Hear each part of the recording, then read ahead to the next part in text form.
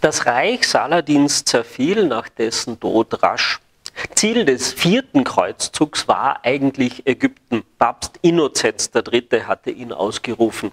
Venedig sollte die Flotte für das Herstellen. Da die geforderten Mittel aber nicht aufgebracht werden konnten und sich Venedig verschuldet hatte, sollten die Kreuzfahrer für die Stadt Gebiete erobern. Zuerst ging es gegen Sada, das zum Königreich Ungarn gehörte. Diese Stadt war für die Herrschaft über die Adria von besonderer Bedeutung. Immer mehr wurde Venedig auch ein Rivale von Byzanz, vor allem in der Ägäis. Außerdem versperrte die Stadt Konstantinopel den Weg ins Schwarze Meer. Inzwischen war Byzanz wieder von inneren Unruhen geprägt. Es gab Aufstände, die Flotte brach zusammen. Auch am Balkan geriet Byzanz jetzt in die Defensive.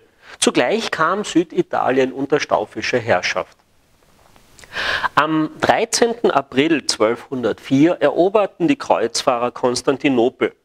Drei Tage lang fanden Plünderungen statt. Unschätzbare Kunstwerke wurden zerstört.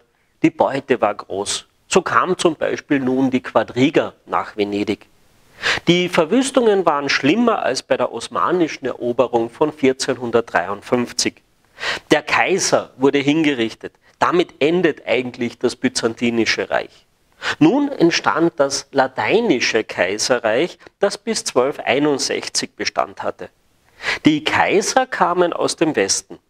Das Reich wurde weitgehend aufgeteilt bzw. zerfiel.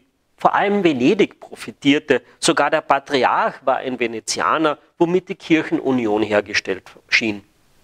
Das byzantinische Kaisertum selbst war in Nicea, Nicea im Exil und konnte 1261 nach Konstantinopel zurückkehren. Die weiteren drei Kreuzzüge im 13. Jahrhundert veränderten nicht viel.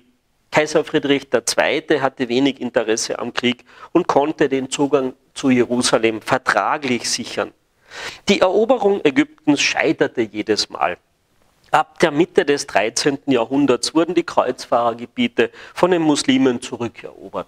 1291 fiel schließlich Akkon, womit der letzte Kreuzfahrerstaat unterging. Die Muslime zerstörten daraufhin alle Burgen und Städte an der Küste und verstärkten die Befestigungen im Binnenland. Zumindest über den Seeweg wurde damit eine christliche Eroberung verhindert. Die folgenden Versuche scheiterten dann auch schon in der Planungsphase.